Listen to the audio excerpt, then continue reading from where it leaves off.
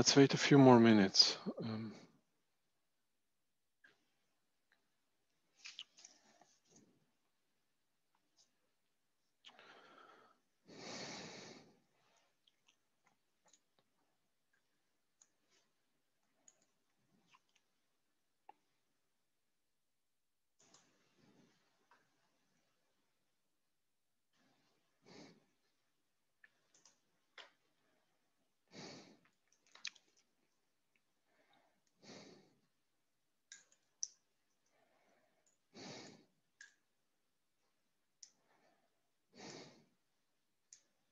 Um, I suggest we start. So thank you for joining this afternoon for the Competence Center and Thematic Services session. My name is Gergely Sipos. I work at the EGI Foundation and I chair this session together with Deborah Testi from Cineca. Um, let me start with a very short introduction to these concepts of thematic services and competence centers because these are terms that we use in the Hub project. And before we have the real presentations, I would like to ensure that everybody in the audience is familiar what we mean by them. Um, this slide uh, provides an overview and positioning of the thematic services and competence centers in the EOSC landscape. And particularly it shows work packages of EOSC Hub that are, that are responsible for various activities you can see on this right side of the slide with these orange boxes that there are some basic infrastructure services that the project delivers. And thematic services are basically community specific online services that are integrated with some of these basic generic functionalities in order to serve scientific users. This happens typically through the EOSC portal where these thematic services are made available and accessible for the scientists. The competence centers are can be considered as kind of incubators of new services. Competence centers are small project type activities with multiple partners involved who co-design and put into production new services for certain scientific communities. They also rely on the generic services and do this integrational and co-design work in collaboration with the providers of these generic services. We have additional similar activities which are not covered today, or at least not in this session. We have a parallel session right now about the early adopter pilots, which are doing a very similar activity, but these early adopters have been selected during the project around halftime in the project. Meanwhile, competence centers and thematic services have been in the consortium since the beginning. And if you look at the practicalities of who are these competence centers and thematic services and all, also early adopters, then you, you, can see the, the disciplinary distribution on this uh, pie chart. You can see that earth science and environmental science dominates, but we have a good representation of physics, life sciences, in, and uh, social sciences, humanities, and other um, more multidisciplinary uh, collaborations too. You can also see that many of these competence centers and thematic services link to ESFRI research infrastructures or multinational projects, typically from Horizon 2020. And today we have presentations from five of these competence centers and thematic services.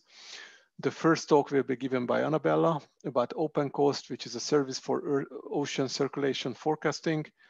Then Daniele Spiga will talk about the dynamic on-demand analysis service, which was initially for high energy physics, but then was picked up by other disciplines.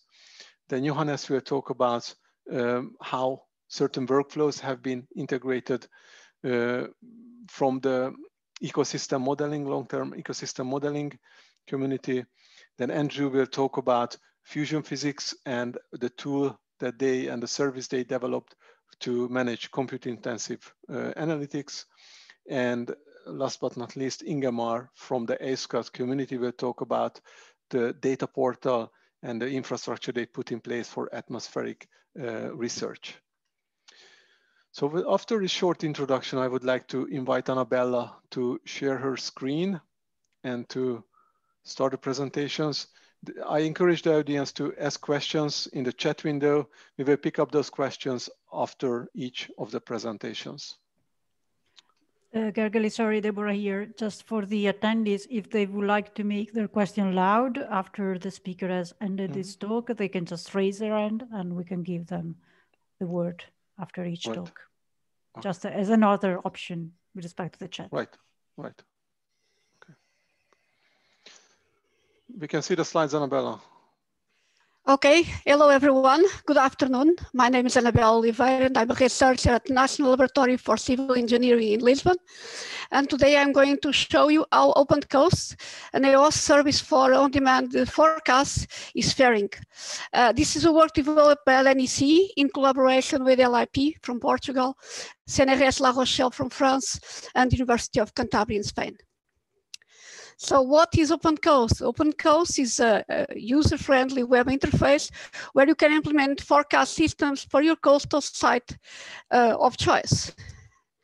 And by doing these, we generate daily forecasts of several variables depending on the physics that you select. So we have water levels, wave parameters, 2D and 3D velocities, and 3D salinities and temperatures. All, all of this is provided for a, a time frame of 24 hours of forecasting based on the use of the numerical model SCHISM that addresses all relevant physical processes. So OpenCoast, what are its main features? So it's very flexible in the, in the sense of the physics that you select. You can select uh, 2D barotropic, 3D baroclinic, 2D wave and current circulation uh, deployments. It's very flexible on the forcing that you use to, to force your model on the boundary conditions, and also to, to specify some of the key parameters in the skills models. Also, OpenCoast is not just a, a, tool to set up forecast systems. It also allows you to do multiple actions over them. You can uh, stop, uh, start, uh, clone the systems, and also look at the results through a viewer. Finally, and most importantly, OpenCoast is a service that is fully integrated with the EOSC service, as you will see in the next slides. So let's look at what is OpenCoast from the point of view of the user. It is a web interface that is composed of three main building blocks, the configuration assistant, the wizard, sorry, the forecast manager, and the output viewer. In the first one, you can build a forecast deployment step by step in a very friendly way. Then you have a forecast manager where you manage all the forecasts that you have started. You can start to check the details of what is inside each simulation, clone the forecast, start, stop, and even delete the forecast if you are no longer interested. Finally, because modeling is not useful if you cannot look at the results, we have an output viewer where you can visualize the results, add data and model points on the fly to check the results in specific locations, and download the time series at those locations and model output to your PC. Finally, if you have several deployments running at the same time, there is a way also to compare time series from the several deployments, for instance, for a same, the same system. All of this is available at the site that you see on the screen, and uh, it's free of use uh, just upon a very simple registration. Okay, let's look at the inside of OpenCoast. So OpenCoast is composed with the backend and the front end. Front end is where the user interacts. And uh, all of these is composed of a set of sub-services uh, that have uh, associated apps and uh, storage platforms. And all of these parts are using a number of uh, uh, Hub uh, core services. For instance, we use EGI check-in for the user's authentication. We use the, the cloud computing services to provide the computer resources to run the backend. We also use compute, uh, containers using UDocker to set the right environment and also high throughput computing resources to run also simulations and to store the data. Finally, we use EGI Workload Manager for the job, job submission. Now from the computational part to the physics part. So what is inside OpenCoast in terms of options for the deployment setup? So we have uh, for the ocean, we have FES2014 that addresses tides. We have two deployments of CMEMS, both the World CMEMS and the EB deployment to force boundary conditions. And then we have two national products, which is PRISM 2017 for the storm surge effects plus tides, and also a deployment of WaveWatch, WaveWatch 3 to set up forcing wave conditions over the North Atlantic. As far as the atmosphere goes, we have both GFS from NOAA and ARPEGE from Meteo France uh, to set up the atmospheric conditions in our simulations. Uh, these simulations have a way to compare with data and we have uh, a very strong link with the EMODnet data where the user can look at the data and the result of the forecast inside the platform. Finally, what we require from the user, it, uh, he or she only needs a computational grid of their coastal system of choice, uh, the ability to set up the parameters of the modeling, and thus to specify, if applicable, the river flow that is imposing in its freshwater uh, boundaries. Finally, OpenCoast is composed of a device running model Schism that is integrated in a forecast platform the water information forecast framework. And finally, all of this is embedded within the OpenCoast platform. So where do we start and where are we now? We, we started at the beginning of the project uh, in January 2018.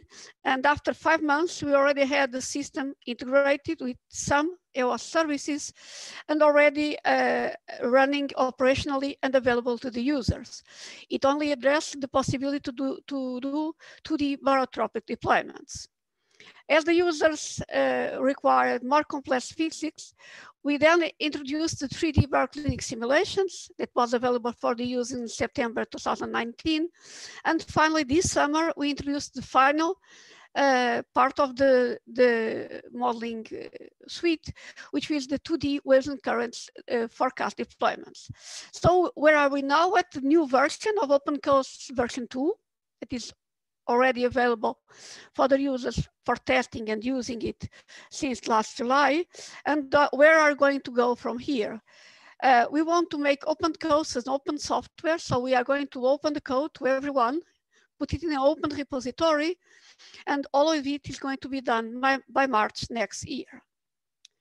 In terms of scientific outputs, we have published a paper on the OpenCoast concept uh, with some key applications that was published last year in the environmental modeling and software. And we are now preparing a new paper for coastal dynamics with the full service you are probably now thinking, why, why is this necessary? Who are our users? So OpenCoast address social, needs in the sense that can support daily and the long-term management of coastal water bodies. It can be used to anticipate contamination events, it support emergency actions, also to be used on a daily basis to support the water economy related to the coast daily tasks, and also for the public uh, to be used uh, to help define uh, leisure and recreation times, for instance. Finally, forecast systems run every day and all of the results are stored. So in time, we get a very rich uh, database of water conditions in each particular system of choice. And these can also be used for long-term management purposes, such as risk management. So basically our users are coastal management, port and water authorities, coastal related businesses, and general public. We also have a very large community uh, of users, which are the coast research community. And let me just give you a, a brief overview, overview what, what are the uses that people are do, uh, doing with OpenCoast.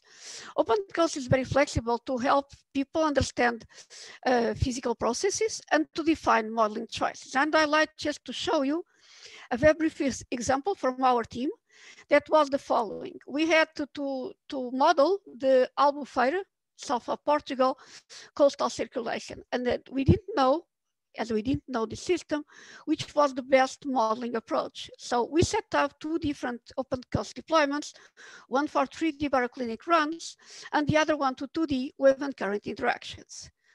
And we, we have it running for some time. So we got a lot of mild atmospheric conditions. And from that, we saw that the two different simulations led to very different velocity fields. As we want to use these to force contamination plumes, this means that the, the choice would have very strong impacts. Then we got lucky and we got uh, bad weather conditions. Depression Barbara last, last month uh, showed up with the winds up to 80 kilometers per hour and very heavy rain, so very strong atmospheric conditions. And we saw that now that the, the velocities are not that different in the magnitude for the two simulations, but the direction remains very different. So that helped us to set up that we had to go to a combined uh, modeling choice that included 3D baroclinic and waves and currents. Another way that uh, the, the, research community is using uh, is to set up a fast schism model deployment. So we have a new system.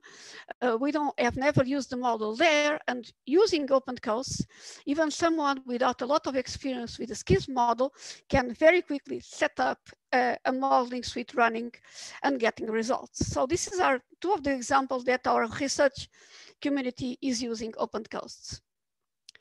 Now let's look at impact. Over these almost two years, uh, actually three years, uh, OpenCOAST has been uh, uh, started to be used all over the world. In this map, you'll see uh, where our users are located. By the way, the numbers on the, the, the red dots are not users, are the, the, the order by which that user in that country started using OpenCOAST. So we have around 250 users from 39 countries and about 300 deployments. And uh, these 300 deployments are scattered through the whole five continents. So what really helped us to, to, to get all of these people interested in using this service?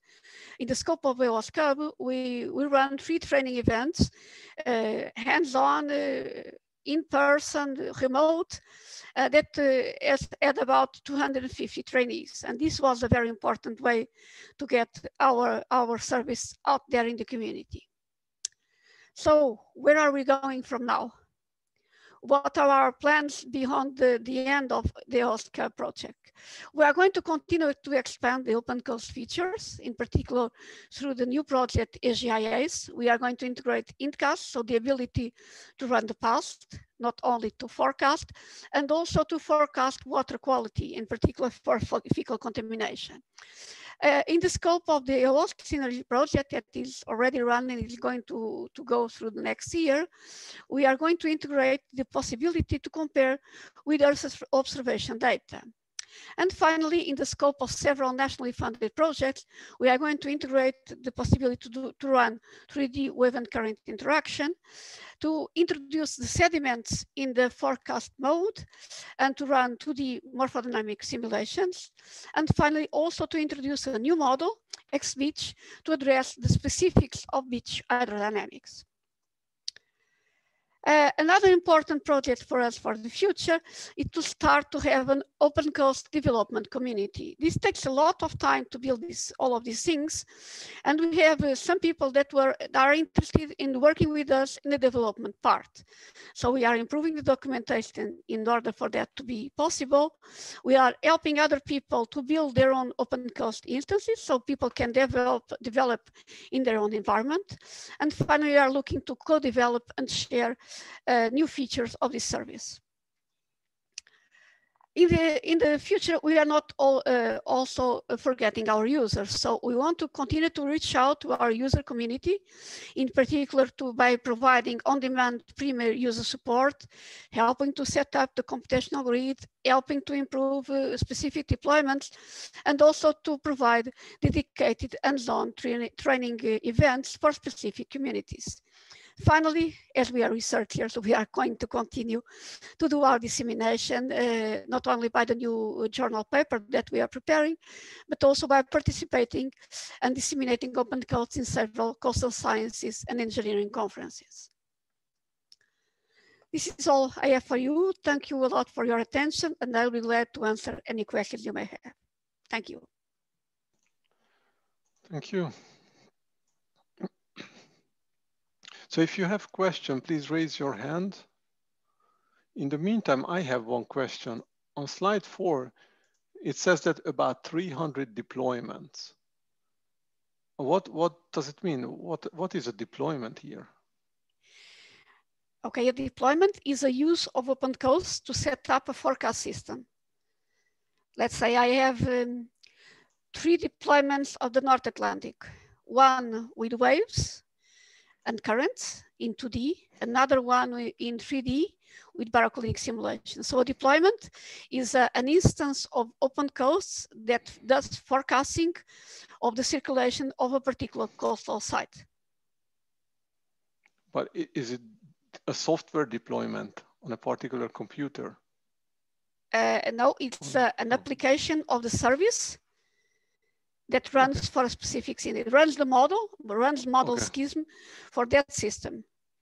Okay, let's say um, the North Sea. Mm -hmm. I set mm-hmm. up a forecast for the North Sea.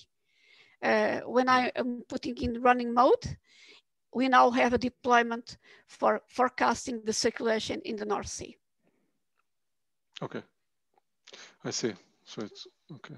It's, it's like a use case or or simulation. Okay. Or yeah, yeah, simulation or use case. Mm -hmm.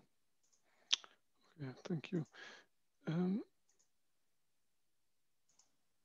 and we know that the ACE project, which is not, yeah, yeah, it's mentioned, will start in January. So, yes. so that's very soon.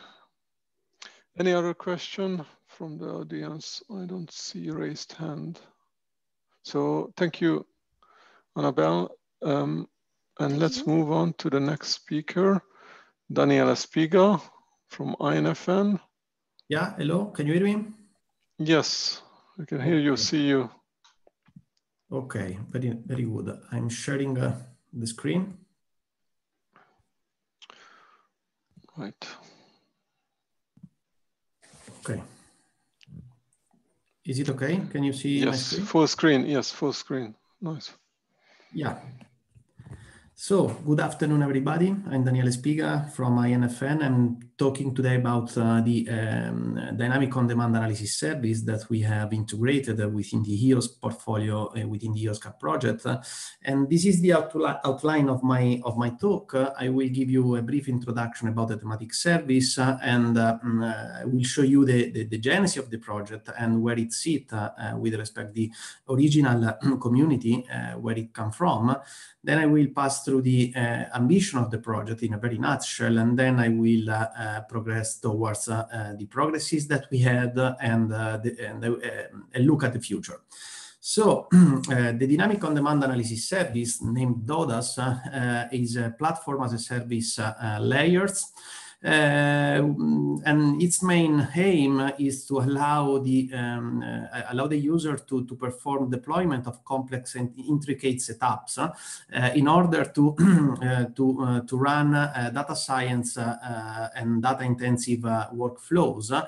And the key the key point is that the DODAS platform aims to, to automate the whole process that the user need to perform in order to to um, to deploy complete analysis system on top of uh, resources, computing resources. And uh, the idea is that uh, this operation is meant to be repeated over, over the time, and the effort that you need to spend to do that operation should be close to zero. So with uh, this aim, uh, we developed a system that is a container-based uh, uh technical solution that uh, in the end allow the user to uh, execute software, which a software application, which can be any analysis soft software spanning from a big data platform for heterogeneous data up to the batch system as a service. And of course, the system is also meant to, to allow uh, running and exploiting the machine learning techniques. So um, one thing that I uh, would like to, to, to, remark since the beginning is that uh, is a very highly uh, highly customizable uh, uh, solution because in the end the aim, as I will come to this later on, and the ambition is to, to build a, a system that is uh, um, uh, uh, adoptable by many and different communities and use cases. So uh, uh, it's based on the infrastructure as a code because uh, the, the goal is that we should have user and then scientists focusing on how how to implement the, the, the, proper infrastructure and not and not spending time and effort in um, sorry, in what and not spending time in how to, to implement that. The, the, the how should be automated by the underlying uh, uh, machinery. So the genesis of the thematic service uh, uh, is uh, um, uh, related to the, the, the, WLCG and the high energy physics community and one of the, the main experiment at CERN, the bigger experiment at CERN, which is the compact muon solenoid, CMS. So um, in that context, the vision is the, of the evolution of the computing model is toward a system that is named a data lake model that is summarized in the picture here on the right right. And you see there are two layers, uh, roughly speaking. Uh, the, the, the, the, upper one, which is related to the data management and the database, the, the data related infrastructure, while the, the below one, the green uh, boxes, represent the computing systems that uh, must join the uh, data uh, lake in order to process data. So the upper layer has the, the, the, role to, to take and to, to manage data, while the below one has the role to, to process the data that are are stored in the upper one. Where DODA sit in all of these uh, is uh, um, uh, shown by the two red arrow that you see at the, at the bottom of the picture. So with this, with this in mind, the principle um, that um, drive the, the design of DODAs are, um, are summarized here and in the end uh, can be seen as a, um, a solution uh, in order to allow an effective use uh, of the uh, of any opportunistic resources, being it uh, private or public, doesn't matter, and to allow a dynamic extension um, on an on an existing facility towards something that can be um, private or public clouds or an HP centers. it depends on the the specific case. Um, not only, but the idea is that with such a solution, with such a technical implementation and service, uh, we may be able to, to allow to reduce a community dedicated effort um, that is uh, usually required uh, in order to manage um, community application on top of a, a resource provider. And uh, last but not least, of course, um, one of the principles is that we should be able to enable user-friendly procedures, as I told you, the, the automation and the um, is a key pillars um, uh, in order to, to allow user to, to easily build a model analysis facility wherever they uh, have resources and uh, in their uh, preferred provider. So um, again, uh, to close uh, where we are with respect to uh, our original community, that, that is again the compact muon solenoid uh, at CERN, this is a picture that uh, uh, tells you um, actually how the DODAS service is seen by the computing system of CMS.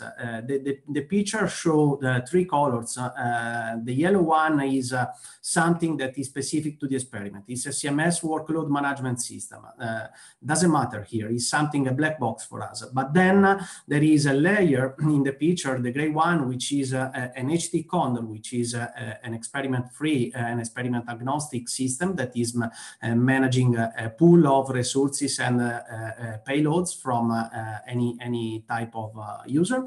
And then in the end, the, the, um, there is what matter for us here, which is the actually actually the resources that must be available available in order to execute the payloads. So the yellow prepare the payloads, payloads the green, uh, the gray distribute it, and the, the, the green execute payloads. From the CMS perspective, uh, DODAS is a, a, resource provider that can be uh, cloud and HPC, whatever. Doesn't doesn't uh, change the the, um, the concept, but in the end is something that seamlessly join the system and the, the complex system and run the the payloads. So uh, the ambition of DODAS is summarized here. And uh, first of all, let me say that the vision uh, from our perspective is based, is represented by the inverted triangle that you see uh, um, uh, at, the uh, at the bottom of the, of the slides uh, on the left, where you see that um, is summarized the concept that the value for the user in the end is at the upper layer of this triangle, where there is the uh, software, the software application, while the infrastructure is absolutely a key because without infrastructure nothing is possible here is not what the user need and want to, to see in order to exploit uh, the uh, uh, application and the solution. Dodas allow is in the middle and allow to make to to to implement this paradigm and uh, to, to, to cope with this vision. So uh, DODAS wants to provide a flexible um, um, platform as a service level building blocks in order based on open industry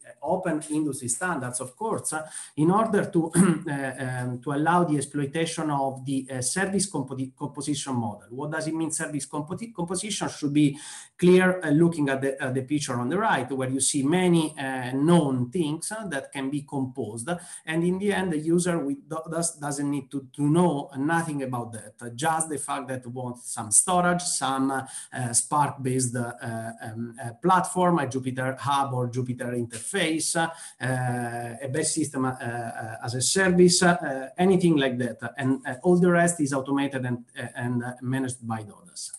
So in terms of uh, achievement and uh, um, there is a, a, timeline here that represents what DODAS, where DODAS come from and where DODAS is going. So the two main information is that DODAS born around 2017 uh, uh, before the EOSC Hub project that then in 2018 became a thematic service of EOSC Hub. If, if we look uh, at what's happening from here uh, up to now, you see that we had an evolution in terms of uh, community that has started uh, adopting DODAS as a solution in order to, to process their data. And namely, namely, we have two success stories that are AMS the, um, and the Fermi Lattice experiment, Lattice experiment that is uh, today that are today in production. We have Virgo, um, which is in the pipeline, still in work in progress. They are um, working in the integration, and uh, uh, in terms of resource providers, which was one of the our objective because we want to be able to run on any infrastructure and in any pro resource provider. You see here the acronym and the, the and the logos of what we did during the time. So where we are now and where we are going, you see that uh, mm, we are start focusing on uh, closer integration with uh, um, the data lake models as I introduced and as I will detail in a little while, and with a close collaboration um, with the ESCAPE project that you may have heard about, and in the um, for what regard the CMS use case. Here we are talking about a CMS analysis facility looking at the future, the future of LHC which is actually the high luminosity LHC, 2027 on. And uh, regarding the DODAS uh, um, uh, future in terms of participation of other projects, we, we will be supported by AGA ACE project starting at the beginning of 2021. So uh, from another perspective, uh, this is uh, how it looks like the trend of the uh, several KPIs uh, that we uh, we defined for the DODAS um, thematic service. And you see there is a, a, growing trends in all of them. If you start from the um, bottom left, you have the resource usage of the DODAS dedicated resources within the thematic service. This is an internal um, logistic of the uh, Project, we have resources dedicated for the exploitation of the technical solution that I'm talking about. And you see here the two main dimensions that are CPU usage, usage and storage usage. Uh, both of them are growing and are um, growing toward the, uh, uh, the full, full utilization of uh, what we have dedicated to the project again.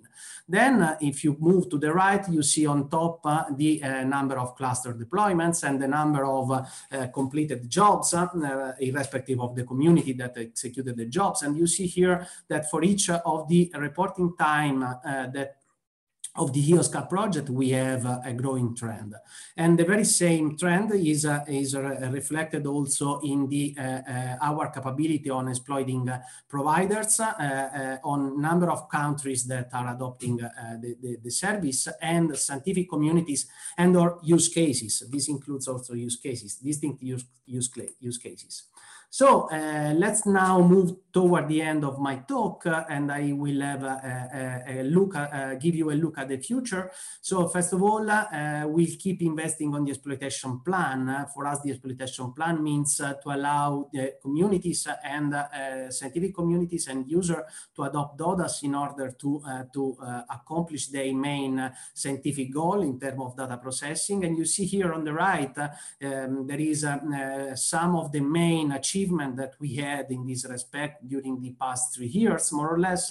And what we have on the, on the radar is on the left. On the left, you see that we are um, discussing, uh, from technical perspective, of course, the uh, HERD experiment um, computing model, which will adopt, um, uh, we is evaluating to adopt DODAS as a, a main pillar for their uh, data processing flow. For what regard non-high energy physics, we have contacts with uh, heterogeneous data analysis projects um, uh, oriented to the big data uh, use cases and approaches. and last but not least, there is the exploitation of the data lakes, as I'm showing now here. and this is actually one of the main pillars for the future um, activity that we are foreseen for the DODAS project. So um, now the data lake is a, a, a key, a, a core uh, for many uh, um, data uh, intensive uh, science, uh, sciences and eh, including our original community that is eh, again CMS in, in, WLCG. On the left you see an high level view of what the data lake can be and few main um, key elements of the of the data lake. if we look at the two um, at the two uh, at the two one that uh, at the two that I have uh, um, highlighted with the um, violet color and the green color, you see that we have uh, the computing, uh, the data processing part, and the, and the data caches part. Okay, uh, so what DODAS does um, in this context, in, in, the context of the data lake, looking at the future is to provide an embedded solution in order to build the computing part and the, including the caching part, which is a key aspect on the data lake infrastructure um, design, in order to optimize the data processing and the data are supposed to be uh, mm, uh, in the data lake. So there is a custodial uh, zone where the data are and the DODAS is who come here and provide you an all-in-one solution where you can analyze your data in the most effective way. And, uh, and uh, the few key points on what DODAS is meant to do in this context is to provide, uh, from the infrastructure point of view, feature and capabilities like the auto-scaling in order to, to optimize the resource usages and smart caching because this became a, a, a key aspect in order to in order to effectively process data, let's think to the uh, content delivery network approaches uh, and this kind of stuff. And uh, of course, the exploitation of, of uh, specialized hardware. the more uh, we focus on things like machine learning and so on, the more we want to we want to access uh, architecture like GPUs, FPGA, and so on and so forth. Uh, from the uh, data analysis part, there is, of course, the possibility to run any non-HEP specific machine learning tools. So this is uh, something that will come and is coming with others in this context. So uh, the last dimension is the national one. Uh, uh, um, uh, in the INFN context, uh, there is a, a, newborn project that is delivering an INFN national distributed infrastructure, INFN cloud as a national distributed infrastructure. Um, the key pillars of the architecture are summarized here, and in the end, we may say that there is a, a 14 backbone spanning two main computing sites, as you see in the picture, and a set of distributed federated cloud, cloud that can be uh, connected and um, uh, can come and go uh, uh, with respect the backbone and federate the backbone itself. So in this very context is where DODAS has a role and is indeed everything fully integrated. DODAS is a part of the portfolio of the INFN cloud project. So summarizing, uh, what I have tried to, to, to show you today is the DODAS thematic service uh, um, that is providing success, successfully providing support to several communities. Uh, uh every uh, communities that is supported is a data intensive uh, one. we are keeping evolving both from the techn techno technological perspective and of course we are trying to progress with the exploitation plan, supporting new use case, new requirements and new communities. We have a well-established evolution plan toward a deeper integration with the data management and analysis toolkits because this is the, the future of the thematic serve of, the, of a service like DODAS.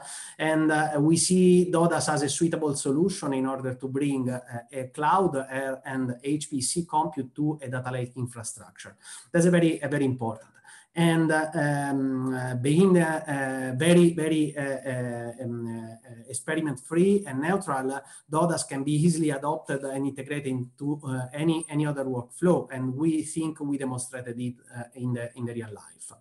So, of course, uh, we are uh, we are uh, available for any consultancies and training, and please contact me, as you see here, if there are specific requirements. Uh, I have done and uh, with the material that I have prepared. So uh, any question is welcome. Thank you, Daniel. Uh, any question? I don't see question in the chat window. I'll make a question in the meantime, then if someone else, uh, what they think, if they have questions. Um, Daniele, you mentioned that in one of the slides that uh, you've seen an increase, let's say, in uh, use cases or communities that uh, have been uh, uh, using DODAS. Um, can you comment a bit on the domain of these communities? Are they most of all from the same scientific domain or they cover different scientific domains? Well, uh, this is, uh, uh, okay, thanks for the question. The, the, the, the main let me say there is a common de denominator um, among the, the, various communities that is the uh, the physics uh, the physics of course and uh, we span from astrophysics to the high energy physics. Those are the the the, uh, the, the, the, range that we uh, that we span uh, as of today.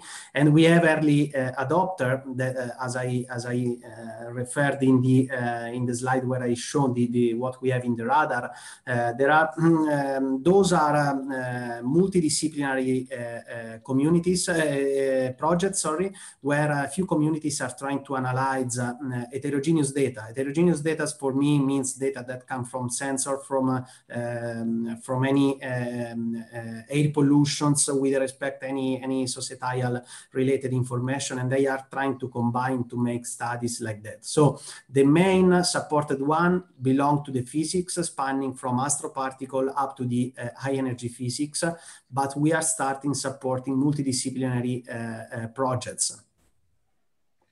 Thanks. Yeah, thank you. And did you receive those projects um, requested access through the EOSC portal? Well, um, the, the, the, short answer is no. Uh, we have got one request at some point, uh, and then we have interacted offline for several reasons. I may not even be able to answer all the details about that, uh, but the, the, the, main, the, the bulk of the request come uh, after uh, conferences, uh, training activities, and so mm -hmm. on. Right. So no, but uh, I, if I may allow, I, I would add that uh, the main contacts, uh, contacts, sorry, come from after trainings. The, the, the, the most mm-hmm. relevant one uh, have been uh, uh, happened after our training. So training, mm -hmm. I think, is very important. Okay. Uh, thank you. I don't see other questions. Thank you very much. So Thank you. let's move on to the next speaker, to Johannes, who will speak about ecosystem modeling activities. Yes, we can see the slides. But you should, um, yeah, we can see you. Not hear you yet. Sorry also for unmuting uh, the microphone. Uh, so now bringing you on a on a bit uh, a different scale uh, of what we what we are doing. So integrating uh, specific research workflows um, on um, and, using EOSC services. Uh, so what I'm uh, talking uh, to you and welcome to the to the presentation is about uh, cloud-based web service for outlier analysis for environmental time series. So that was uh, one specific uh, aspect we selected for the for the eLTER Competence Center. So my name is Johannes Peterseil. I'm working for the Environment Agency in Austria. Uh, which is also a member of the European uh, Long-Term Ecosystem Research Network, LTER, uh, in Europe and the emerging infrastructure which is formed about that. we are also forming or being part of the information management team of eLTER and also run uh, maintain uh, a long-term monitoring site uh, in, in the Austrian Alps. So dealing with both aspects, so the, provision of data and also uh, the, management uh, of data itself. So as part uh, of these activities, we are also involved in this digitization of the, of the research process along the whole data life cycle. And uh, this will also feed into the development of the eLTER information system in the upcoming years. So there's a, a new project, which is uh, a follow-up of the activities we are also doing in the EOSC Hub, uh, where the, this is used. So in this context, we are participating as competence center to the EOSC Hub project uh, in fostering the uptake of EOSC services uh, in our user community, which is the, the LTR1. So just uh, so what is the what is the the, the background uh, of what we are doing? So research infrastructure seek to seek to provide standardized uh, facilities, uh, resources, and services for specific research domains. So in our case, the LTER uh, research. And this includes the use of long-term monitoring experimentation sites, but also the provision of quality controlled data and data products. So ongoing digitization puts a focus on all different aspects across the whole data life cycle, ranging from the observation, transformation to the publishing uh, of, the, uh, of the data. And in this context, um, at least in our community, cloud-based repositories for publishing and sharing the data are gaining uh, importance. For georeference time series, and that's a, a second important part, so coming from, uh, from sensor-based networks uh, installed uh, in, the, in the field, the OGC sensor observation services are rising importance, and that was also one of the, of the background for the work we are, we are doing. In our case, the, the data are coming from a wide range of different data providers participating in the data infrastructure. So there is a, a varying uh, way of doing it and being fed into central workflows for data and, uh, and analysis and integration. Considering the data provision from a wide range of participating sites, the issue of ensuring data quality is of high importance. This is not only true for the research infrastructure uh, itself, but also even more if we focus on the European scale, also for the for the European Open Science Cloud. So, what is the the, the context of the competence center we worked uh, for? So, the European research infrastructure for long-term ecosystem, critical zone, and socio-ecological research, in short, eLTER RI, uh, which was recently put uh, on the ESFRI roadmap in 2019 aims to address key drivers of change of major European ecosystems and socio-ecological systems, covering all different aspects of the life supporting system. So coming from the atmosphere uh, to biosphere down to the social and economic uh, sphere. It tackles the question on how global change, also now important uh, in the view of the pandemic, affects ecosystem, ecosystem processes, biodiversity, and uh, ecosystem services supporting uh, the, uh, the human society. So applying monitoring and observation is focusing on a whole uh, on an integrated uh, whole system approach, so covering these uh, different aspects of the of the life supporting system, and this addressing main ecosystem types in Europe and is covering a broad biogeographic range. eLTER is long-term site-based, multi-scale, cross-disciplinary, but also very heterogeneous uh, and builds on about 200 sites, uh, which is uh, comes out of a pool uh, of about 415 LTER sites in different countries in the European network. As an important part of the eLTER service portal, which is dedicated to provide access to sites and data, there are uh, a number of platforms uh, included which uh, should be mentioned. So the first one is the DEIMS-SDR, which is the, the, the basic site uh, and dataset registry, which is also used on a global scale, providing uh, information on sites for about uh, 1,000 long-term sites. the data integration portal, which is the main discovery and visualization portal uh, in the eLTER context.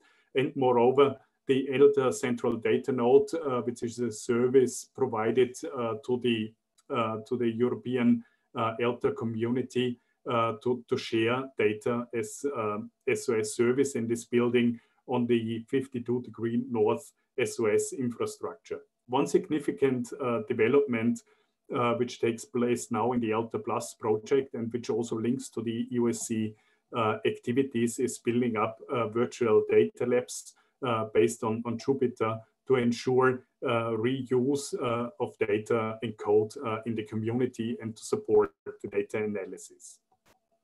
In this aspect, uh, as mentioned before, quality control of the data is an important prerequisite for the integration and reuse of the data in the scientific analysis. The detection uh, of outliers has an important aspect, uh, which we also dealt with in the, in the work uh, of, the, of the competence center. When considering outliers, it's important to separate technical reasons, which result in missing and incorrect values in the observation data. For example, when uh, sensors are covered or there's some uh, uh, some material goes into the to the sample uh, to deviate uh, that from unusual observations which deviate from normal measurements, for example, by high wind speed or high temperature due to uh, very specific climatic situations. So this later on are correct values uh, outside the norm. So outlier currently are flagged already uh, during the observation periods or just after, or take into account uh, a range of uh, statistical methods to detect outliers. Uh, so in this uh, respect, also in the for the research infrastructure, it's important to standardize them in in the um, for the for the research infrastructure itself. Um, so this led to the idea uh, of the eLTER uh, Competence Center creating a centralized outlier detection service for the eLTER research infrastructure using EOSC services as underlying infrastructure to support aggregation for standardiz standardization of eLTER data products and offer a general quality control service for data providers uh, in the RI so they can check the data before submitting them uh, into, the, into the central data store. One specific idea behind the development is to provide a standardized array of outlier detection methods following a non-black uh, box philosophy so uh, by providing a transparent array of different methods to describe uh, also the use uh, of the this different outlier methods. Uh, this enables uh, also central maintenance of the of the service and thus uh, lowers the usage threshold and providing support and documentation. The idea was to reuse existing methods which are already published by different various R packages, uh, which is one of the of the, the, the, major major languages used in the community, and provide R scripts to perform the basic steps for retrieving the data, accessing them, and uh, do the annotation of the outliers, and to encapsulate this workflow behind a REST API. The scripts offer a range of commands to retrieve the data either from uh, OGC sensor observation services or from file-based uh, cloud uh, repositories. The advantage uh, of the uh, approach is that outlier detection can offer be both as a service, but also could be implemented locally or offline use if needed. One specific issue uh, is that uh, data provenance is also gaining importance and by using standardized approaches on the methods for the outlier detection as well for the flagging of the data uh, can enhance the traceability and trust uh, into the data and the related data products and analysis. So the idea was to encapsulate the R scripts, uh, which partly were existing before behind uh, an REST API. We used uh, the Open API specification, uh, which is an approach to standardized REST APIs. It's based on JSON or YAML descriptions of the functions of the REST API. Uh, and the idea is to use the standardized uh, descriptions to automatically generate server stubs for many different platforms. So in our case, we used uh, uh, a framework to automatically create Python-based web server. Uh, and there is also an online uh, web editor uh, available, but it also which also can be used but not have to to be used for the for the, the development of the descriptions. Uh, in addition, auto-generated documentation uh, is also provided for the for the API. Basically, uh, four um, functions were were provided. Two for the retrieval of the of the data, which is one for the for the uh, sensor-based uh, data provision, uh, and the other one for file-based data provision, where the different parameters can be posted to the to the web service. Uh, and regarding uh, the analysis, uh, there was one doing a synchronized procedure where you can wait for the for the result, um, and the other one is a, a non-blocking or un unsynchronous case uh, to to trigger uh, the processing, uh, which is waiting until it's it's ended. Uh, here you see a, a, very simple diagram of the of the service uh, where the, the, the caller uh, is calling the, the web service which constantly runs uh, and each request uh, triggers a virtual R script environment uh, which starts to retrieve, process Uh, and annotate the data uh, and performs the outlier detection methods and returns uh, the results. in the synchronous application, uh, it uh, waits until the information uh, is processed, is available until the next process can be started. Parallel to this, we also um, implemented an asynchronous implementation because the especially the, the outlier detection methods implemented in R uh, will take uh, some time. Uh, so the, the web server creates, uh, runs the, the R script, uh, creates an information on the status of the, of the process, runs until uh, the annotation is done, uh, and uh, the, the, status of the process uh, can be called in between. And basically, new, new services can be triggered when needed. For the outlier detection methods, we selected uh, existing univariate, uh, univariate uh, methods uh, using R packages, uh, which apply a moving window approach. And that was one of the performance issues. And information on the size of the window and the interval of the outlier detection can be set and passed to, the, to the web service. Currently, nine different methods are used, which are called all together. Um, so there is currently no specific uh, method uh, or parameter to select a specific method, uh, but they are called all at a time. Uh, and you, we get a unique flag for each of the, the nine methods. Uh, so we can, uh, outliers, for example, can be identified by one method, but not by the other. The selection of the, the methods for the, for the outlier detection is still work in progress, progress and will be continued uh, in the eLTER Plus uh, project, also defining a standard set of methods for selected variables uh, needed. So the, the result uh, currently is provided uh, as, a, as a zip file, uh, providing all the annotated original data with the, the data quality flags, but it's also providing additional files for further analysis on the different on the results of the different outlier detection methods. Um, what we also do uh, is uh, provide a simple Jupyter notebook to visualize the results and uh, do basic analysis uh, for the user. So the source code uh, is provided uh, on a GitHub repository and also information on how to use the API and to do some simple analysis.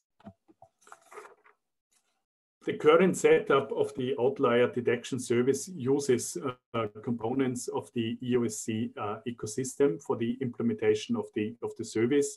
This includes virtual machines hosted by EGI, providing the platform to implement the service, uh, using Jupyter, also hosted by EGI, to access and visualize the results of the quality control workflows, uh, and also EUDAT services uh, for cloud-based data storage hosting.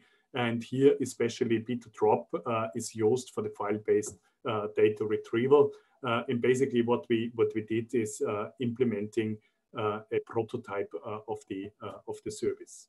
What are the, the, the lessons learned so far? uh, is, and, and that was one of the, the main reasons uh, for doing uh, this in the in the competence center is also uh, to get a deeper understanding of the uh, sensor observation services, uh, is that using a generic web service for calling the sensor observation services triggers an, a, a number of issues as the, the identification of the time series uh, is cannot be done in a unique way. It's standardized, but there are different ways uh, of implementing it. So it's configuration dependent and not universally valid uh, approach, uh, which is potentially very problematic uh, for a generic uh, application. so dedic dedicated profiles, and that's currently under revision in the in the eLTER RI, like WaterML uh, should be used uh, for the for the research infrastructure in order to provide uh, standardized uh, services.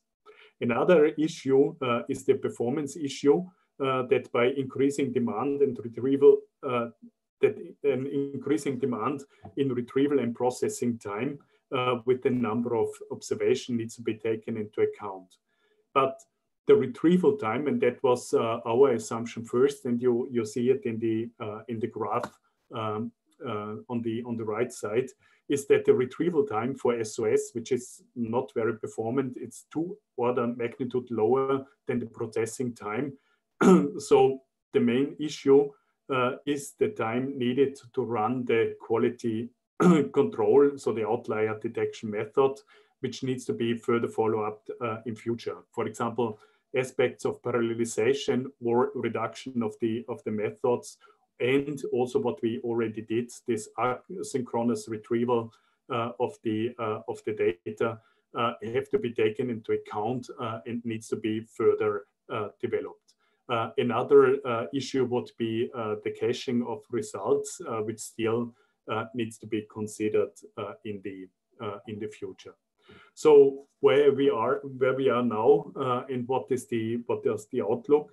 The eLTER CC showcased uh, the implementation of a cloud-based web service for outlier analysis uh, for environmental observation using OGC SOS services and data files.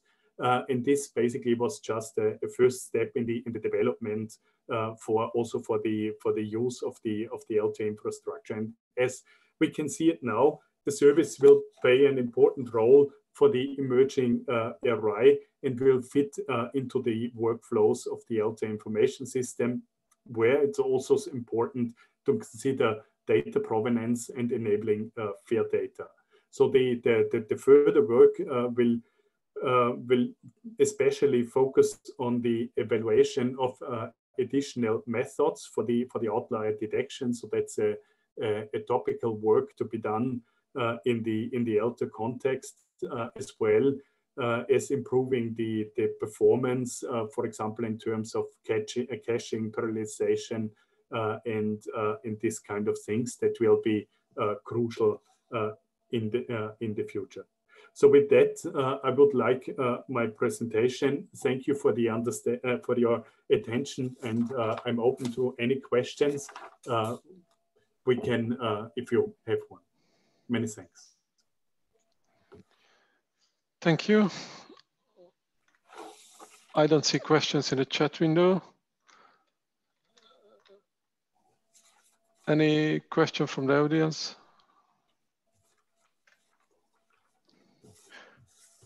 My, my question is about the fairness of data.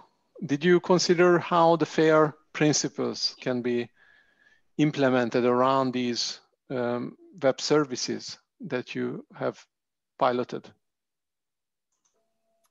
Uh, yeah, we we are basically we are uh, just at the at the beginning. There are uh, different issues, for example, like uh, also for persistent identification, which is a, a tricky thing when uh, dealing with the uh, with sensor observation services as they are dynamic data. So that was was considered. we have an, a, a, link to another project or another activity which was done uh, in the in the ENVRI-FAIR context, uh, where um, by using a, a, a, provenance templating service, for example, this uh, the the information of what happened, so tracking what was done with the data would be would be implemented. But we are still rather in an in an early phase for regarding that. So that will also be part of the of the other activities. Mm -hmm. Thank you. I suggest we move on. Uh, the next speaker is Andrew, who will speak about fusion physics and analytics tools.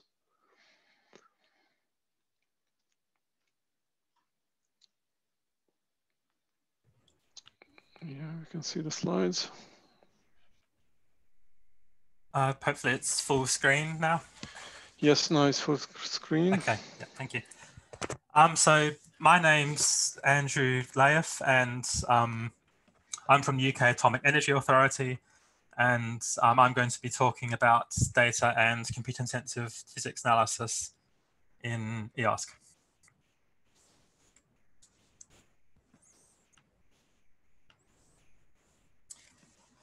Okay, um, so beginning just to give some background on the research area and the um, computing in this area. So uh, fusion energy research. So uh, nuclear fusion is the energy source of the sun and the stars. Um, so in nuclear fusion, light nuclei fuse together, um, that forming heavier nucleus, and that releases energy.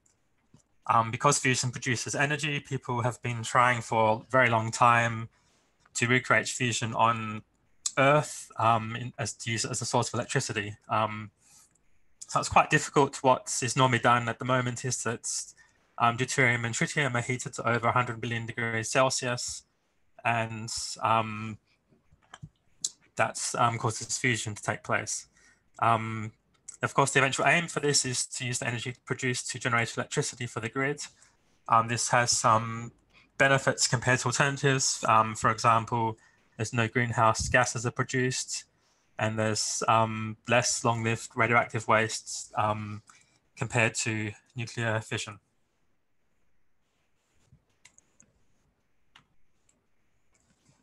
Uh, so in computing in fusion, um, I guess one sort of important aspect, maybe compared to other areas, is there's a very sort of wide variety of um, sort of fields involved and therefore a different wide variety of applications. Um, so it's not just physicists doing physicists doing simulations all using the same framework. There's people doing plasma modeling. There's uh, materials um, research, engineering, data processing, uncertainty quantification. Uh, people are sort of doing rendering, rendering from CAD models. Um, now people are starting to do um, things like machine learning. Um, so it's a lot of different activities. Um, so in the fusion community today, um, first of all, distributed computing essentially doesn't exist, um, apart from the work that we did in EOSC pilots and now in EOSC Hub. Um, the sort of data volumes have always been very small, so the scale of computing has also been very small. And because of that, it hasn't really been any type of need for distributed um, computing. Uh, generally, they're just sort of isolated islands of um, data and compute resources. So these are typically HPC facilities that have um, shared storage. Um, so for example, Marconi Fusion at CINECA, um, that's a HPC cluster that's sort of one of the main fusion um, computing facilities um, in Europe. Um, sort of because of this, it can be quite difficult to access data. So if you want to access data from an experiment, you need to, in many cases, get access to a specific cluster, which is attached to the storage that holds that data. Um, so also um, software is typically not portable. Um, sort of extensive use of pre-installed modules, lots of custom software. Um, there's sort of lots um, need to have sort of make file specific clusters. So if you want to run a particular application somewhere else, you basically need to fly a developer in to spend a week with you, sort of getting it to work. In the last couple of years, it started to improve um, with people starting to move towards containerization, but that's sort of still a small minority. There's also lots of uh, use of commercial software, for example, IDL and commercial libraries and compilers. And even sort of more complex than that is there's lots of software that's um, used for nuclear work that's under US ex export control. So in those cases, it's not possible at all to run them on clouds. And or even it's, it's quite difficult to run them anywhere, in fact. Uh, so historically, the computing in fusion has always been at sort of quite a small scale, but it's expected that the um, resource requirements will increase significantly in future.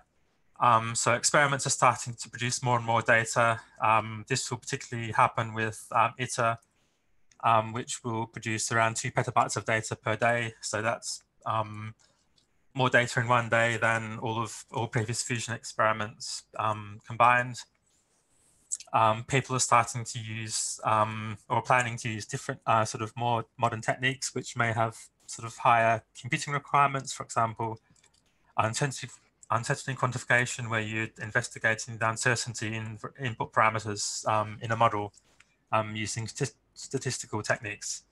And that sort of requires running the same jobs over and over again with many different param um, the parameters varying so it has sort of high um, resource requirements. And also things like machine learning and deep learning are starting to um, be used as well. Also have um, increasing memory requirements. So um, the meshes used in the modeling are starting to get larger and more detailed um, in order to produce more accurate results. So that sort of leads to more and more memory being needed. There's also reducing shot time for inter-shot analysis. So um, this is the sort of data processing that takes place between each shot in a fusion experiment. Um, this time is sort of decreasing, plus people want to be able to do calculations with higher and higher fidelity. So that requires sort of more computing power in sort of smaller time periods. And just with ITER will, for example, is expected to run near continuously. So that's the sort of end um, situation. So in the Fusion Competence Center, the aim of the um, center is to investigate whether the services provided by EOSC are suitable for fusion use cases. Uh, there are two parts. Um, it's the competence center, each sort of roughly driven by the expected needs of ITER. Um, there's a storage section, which um, is basically about um, replicating data across um, multiple sites and then being able to access um, this data from the different computing resources and it's also then the computes parts um, to the project. Um, this is so that normally in Fusion, I guess the facilities, the local resources are not provisioned to sort of for peak demand. So it's important to be able to sort of burst onto external resources when you need to um, for when you have strict deadlines or this um, work that needs to be done, but it's not something that needs to be sort of run continuously. And this would need also need the ability to be able to run workflows across multiple sites. But I'll, that's, I'll go through these um, two sections in more detail now. Uh, so um, the storage, um, the basic idea is that um, experiment data will be written into a nearby storage system, and then it will be automatically replicated to other sites um, around Europe or around the world. And then there'll be workflows running on various computes clusters, which will then be able to access the data from um, near, the nearest storage system or another one if the nearest is unavailable for some reason. Um, so we had a sort of list of uh, requirements. So some of them, for example, included this replication to define sites, um, being able to access the data via standard protocols like via POSIX file system type access or HTTP or S3, um, wanted automated, automated integrity checking with self-healing, uh, globally unique, resolvable, and persistent identifiers, um, the ability to find the best replica, for example, with nearest replica or one with the lowest latency, and the ability to attach metadata. Um, so we evaluated um, two storage technologies that are available in EOSC, um, which could potentially meet these criteria, um, B2Safe and OneData. Uh, so for B2Safe, we used um, existing deployments at STFC, CINECA, and uh, Poznan. On OneData, we didn't actually have access to any existing sort of production deployment, so we um, just deployed our own one providers, which actually simplified things a lot because we could just do everything ourselves. Interestingly, with both of these technologies, they don't provide a way to sort of automatically find the um, best replica. That seems to be something that's sort of left for users to deal with um, themselves. Um, on the compute side, um, so we wanted to demonstrate that we can run containerized Fusion applications um, on EOSC computing resources, as in clouds. Um, and more specifically, wanted to be able to run workflows just rather than individual jobs, and in particular, workflows that require access to input data and need to be able to write output data back as well. Um, so for doing this, the platform um, that we use needs to be able to support uh, multiple clouds simultaneously. Um, this is sort of quite critical to us. For the Competence Center, we were given access to two sites in EGI Fed Cloud, and we also had opportunistic access to around five clouds in total from Fed Cloud, uh, as well as a sort of a couple of um, clouds in the UK. So, and it's sort of becoming more and more common to have to be given allocations on more than one cloud, not just a single cloud. And we also had sort of very varying job um, resource requirements. So some jobs need single cores and small amounts of memory, whereas other jobs might require very large numbers of cores and or even multiple nodes at the same time. Uh, so we evaluated some of the options available in EOSC, um, but they didn't seem to meet our requirements. They were sort of mainly aimed at running jobs or workflows on a single cloud, whereas we needed to use multiple clouds. Um, and because we're sort of mainly aiming to use clouds when the results, uh, local resources are full rather than using them continuously, and this sort of means our, require, our resource requirements on clouds can vary quite significantly. So one day we might not need any clouds, the next day one cloud might be enough, and then a few hours later we might need to have as many clouds as possible. And sort of many of the existing solutions don't sort of take care of that situation. Uh, so because of that, we decided on using a platform that we had previously developed in EOSC Pilot, which is called Prominence. Uh, so Prominence um, sort of provides a simple batch system type interface to users and completely hides the fact that clouds are used, um, but it automatically distributes jobs across um, any number of clouds and it can use clouds very dynamically. So including scaling um, from to and from zero, which sort of meets our requirements for this project. Uh, so now look at one of the example workflows that um, we were looking at. This is um, for the uh, intershot processing in Fusion. So intershot analysis of processing, processing is the um, automated processing that happens between each um, plasma pulse or shot in experiment. Uh, this needs to be done as quickly as possible. It's not sort of operations critical, but it, it's quite helpful if it can be done um, as fast as possible. Um, so as an example, the diagram on the right-hand side shows the um, sort of an outline of part of the MAST intershot processing workflow. So this MAST is um, one of the experiments in the UK. Um, we'd originally intended on running workflows like that across multiple clouds, but because of its sort of heavy, heavily dependence on IDL, that turned out to be not possible. Um, so we had to sort of find alternatives. Uh, so WEST is a tokamak in the south in France. Um, so we're just looking at one sort of simple example code from the intershot, process, intershot processing workflow, which is calculation of the plasma equilibrium. So this is the states when all the forces in the plasma are balanced. And so for this, we developed a new uh, MapReduce style workflow in Python, which uses the ITER integrated modeling analysis, analysis suite called IMAS. Um, so it's sort of, that's the um, framework that's going to be used for ITER um, analysis. And because this is a map MapReduce style workflow, um, this enables us to be able to calculate results with high fidelity in a shorter time period by if we can distribute the work across um, sort of more and more resources. Each job then needs to be able to sort of access or read in input data and write its output data. Um, we would, for this, we're looking at using uh, OneData. So just show the diagram here shows sort of the basic architecture of how we were able to run this workflow across multiple um, clouds from EOSC. Um, the work have created the workflow which was submitted to Prominence. Um, Prominence then is able to distribute all the work across the different clouds um, that it has access to. Um, for OneData, we had a OneData provider in the UK, another one in France um, that were connected to um, the Onezone provided by EGI Data Hub. And, be, and because the two date OneData providers were connected to the same Onezone, um, that all the data was replicated um, automatically as needed. Uh, so we're able to successfully run this workflow across five um, EGI Fed Cloud sites. Um, this works quite well. Little table there shows the sort of decrease in the processing job wall time as the number of processes increases, which is what we'd expect.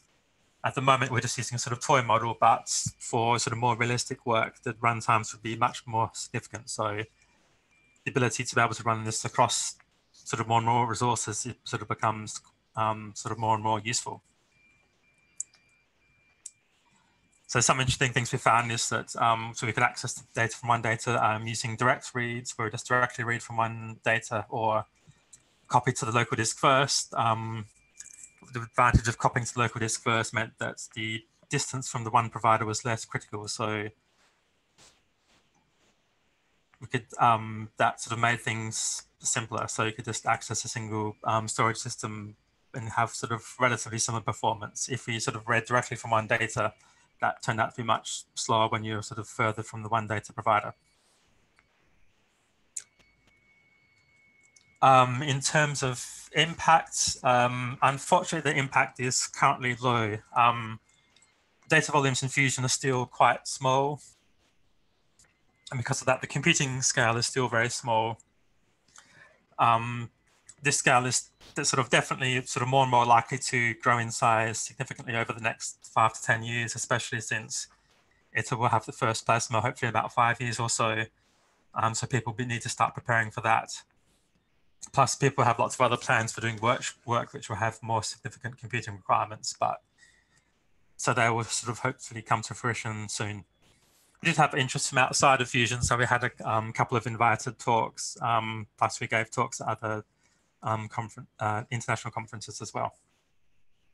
In terms of future plans beyond EOSC Hub, um, to continue work on the WEST use case um, and demonstrate it in being used in production. Um, so far we have a simple model, but that's going to be extended to be more complex and realistic. So being able to run it on clouds will be sort of much more important performance gains. We also have some sensitive quantification work being done at uh, UKAEA um, using a platform that uses prominence as the backend. So there's sort of similar technology being used for this as we used in the competence center. Um, so that would be another good use case. Plus in AGI um, the fusion, there's a fusion use case of validating models, um, simulations with experimental data um, using AI. And that's going to also share um, some of the similar services we used in this competence center, but will also include more HPC and um, machine learning. And uh, that's it. Thank you. Thank you, Andrew. I'm conscious of the time, so I suggest to move on to the next speaker. Thank you very much, Andrew. Um, the last speaker is um, Ingemar from the EISCAT organization. Unfortunately, we, we will eat into your afternoon break, but I hope that's okay. We can see your screen. yes. Oh, wrong slide. Okay. Yes, so I, I will, you hear me, yes? I, I will talk Yes. about the, give presentation about EISCAT 3D Competence Center that we've been running on the EOSC Hub for th- three years now, almost. Uh, the, the, this competence center is, is of course driven by EISCAT, which is Ingmar and uh, me and, and Carl Fredrik. And we have also help from, from the DIRAC developers, Andre and Andre at CNS, CNRS, and also Ari from CSC. So EISCAT 3D has, I should just present EISCAT 3D first a little for you. Uh, so EISCAT 3, 3D is a new concept of radar that we have start, we are developing now at, at EISCAT. We, we have been running radars for 40 years, but uh, with this new radar, it, the, the amount of data that is going through the system will increase quite significant, significantly. So instead of having one beam from each from from the radar, we will we will have hundred beams simultaneously. So we, we are probing the atmosphere mainly, but we are with we will also see the atmosphere and also further into the ne- near Earth space. And so we have currently we have got just a simple uh, just uh, the first article of, of of the antenna unit and also some equipment inside. So and with that we we we, we are then checking or we are then developing our our software and control software for, for, for the full radar. In the corner here you can see the the sky map that we have been recording with this one so we can see that some stars and Milky Way and the sun in the down in the corner here. It's rather broad beam. Uh, so EISCAT 3D is a okay stage one, you should say. So stage one of EISCAT 3D is is consists of three sites in the northern Europe. So we will have, we will have the full the, the core sites in in in Skibotn in, in Norway and two with transmitter and receiver and two receivers, one in in Finland and one in in Sweden then. And we we plan to be fully operational at, least uh, sometimes sometime 2023 we, we, we would get the first data end of 2022, I think.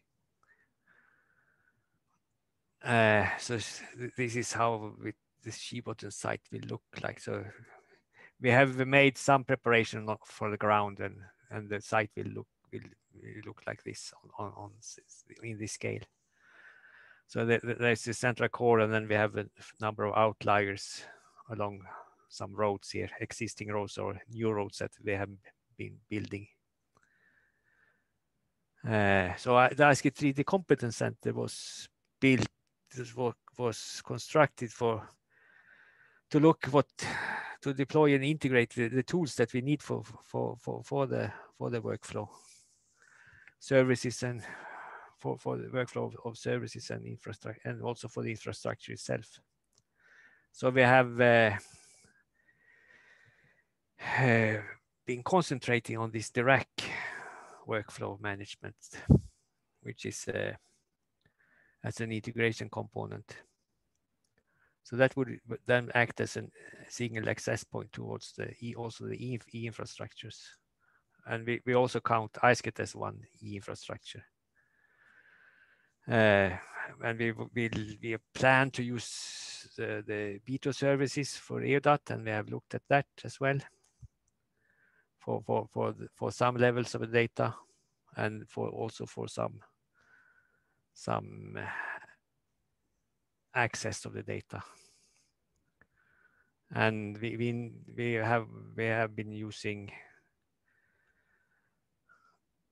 at least we we we, we, plan to to look at se- sev- several solutions of the of the users user authentication and we have B2 B2 access and also the EGI check-in then. As we, we need this access uh, uh, access and authority for for for for for accessing different levels of data. So the level one data, which is the lowest levels of data, we it's it's raw voltages from the from the radar. I, that is sensitive data in in that respect that we, we, we, with the radar we we see also things that we are not supposed to see. So we see activities of of secret satellites and so so th that data is closed within EISCAT, more or less. Some of the data will be cleared eventually and released also for the users. Level two data is the spectral data where we have integrated data and then lost lost part of the information from this from the from the satellites and so we integrate some some in, in both in time and in rain in, in volume. That data will it, it will be embargoed. So that is be accessed only by the members of the association. Then there are, there are different numbers of these embargo embargo times. And the level three data, which is the the the, the, the physical parameters that are that we will uh, provide for the users. The, the, the, the, time from level one to level three is a couple of seconds. So that is, we will re release open data almost at once from, from, from the from from the reception of, of the echo. So mainly it's the ionospheric parameters, but we also, of course, look at our other atmosphere, meteors, space debris is rather popular nowadays yes, on this map you can see who who is members right now. So we have the Nordic countries, UK and China and Japan. Uh, the EISCAT workflow, it says data flow here. So it's mainly the data flow that is we have, we have been looking for the looking at on the in the competence center. But we, there are other workflows. We have the operational workflow also within EISCAT. So when the user is requesting time for a for uh, for an experiment, he, he need to be authenticated and and also authorized to do this. And and then we have a workflow how that request is then scheduled for the radars and then executed and eventually the data will land in the archive. And uh, in the archive, we, we the, the, the data the, the the data workflow takes starts.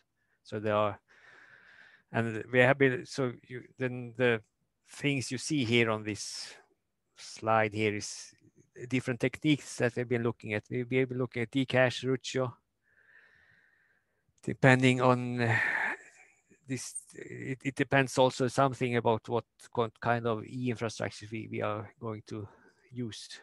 So we, we, are planning for both of these, both of these techniques and the, and we have the direct web in in the center part here. We, we have we have almost gone uh, for for the EGI check-in, which is uh, the the for, for the authentication, and as I said, we B2Find is is is for for for for the searching. And and and after searching the, you, the, the data from from the out for, for, for the process data will also land in the B2Share. That was the plan. So we have been looking at that. We, we have not integrated everything yet together with DIRAC, but we, uh, that is parts that we are planning to add for the for the, in in the coming projects and also but we, we so we, we, we, we are rather open, but we, we have the, the, the toolbox, the, the, the different boxes rather clearly. We have been doing uh, submitting jobs via sandbox like this and or uh, or via the via the uh, notebook interfaces. So this is a summary of this. And so we have the, the rack file, file catalog, which is the central part on the low level of data. The, the B2Share has the higher level data that it's the the the analyzed or the, the derived data or the products, data products. Uh, the job submission we have been testing currently on CSC, but we have also been running it on our own containers. And this is how some such a file looks like.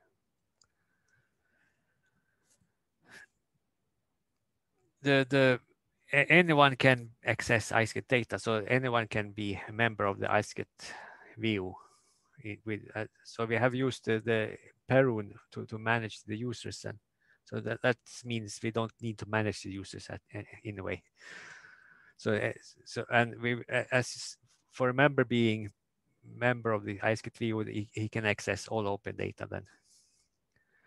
Then we have the for the embargo data, we need to set up groups like this. So we have each member then is will be one group, and the group the groups ourselves they are managed by the members. So EISCAT itself will not manage the group the users quite so much. We, there are some groups that are belonging to EISCAT, some like system developers, and but otherwise we have the the members like the DLR SO from Germany. We have Finland is the, the full country really.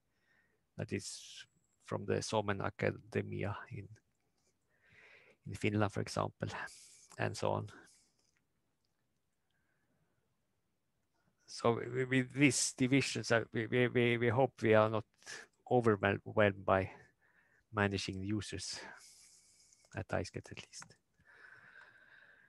the Jupyter Lab, we have an instance at, at EGI Jupyter Hub, but we have also an own instance of, of the Jupyter Lab, of course.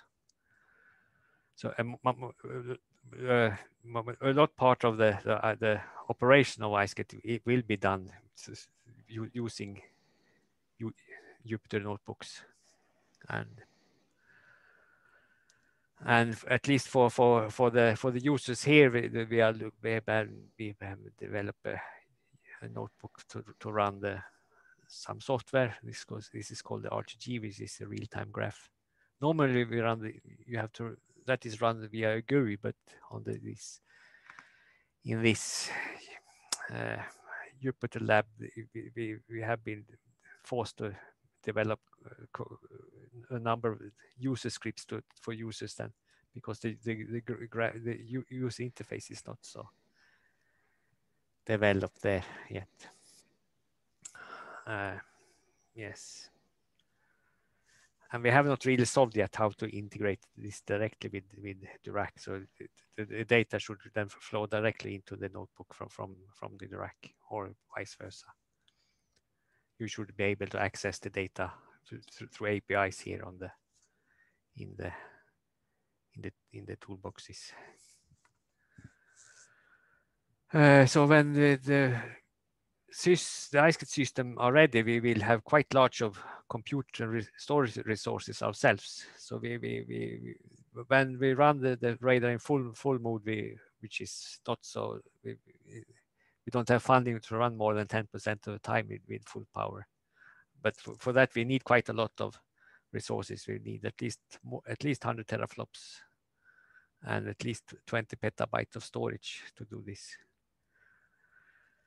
And of course, during low power periods, the, the, the, these resources are available, should be available for, for the users then. So in, in a way, so in a way, EISCAT is also one provider of of of the of resources for, for, for users. Almost like a research infrastructure or an e-infrastructure in that case.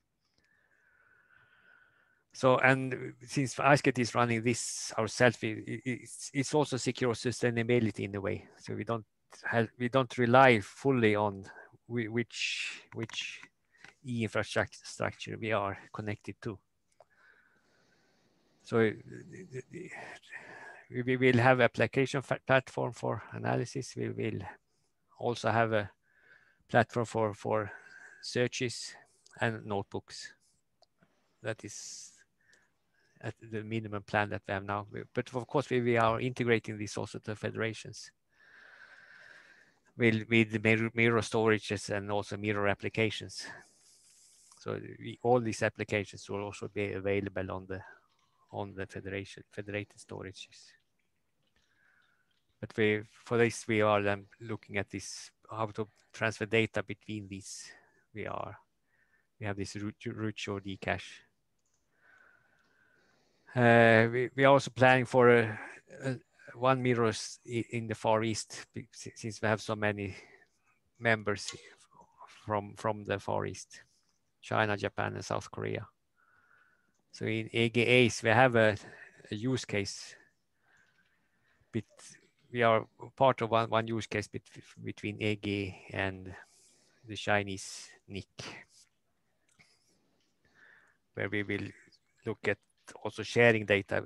There, there's a similar radar built up in, in China currently, and so we will see how we can interact with that as well. Okay, thank you. Thank you, Ingemar. Um, for the sake of uh, time, I'm afraid we have to disconnect now because the next session is starting the preparation. If there is any burning question, I didn't see that in the chat window, but if anybody wants to ask question now, there is one more minute. I don't see raised hands. So thank you, Ingemar, and thank you everyone who stayed until the last minute. Thanks for all the speakers. Goodbye. Thank you, everyone. Goodbye. You bye. Thanks. Bye.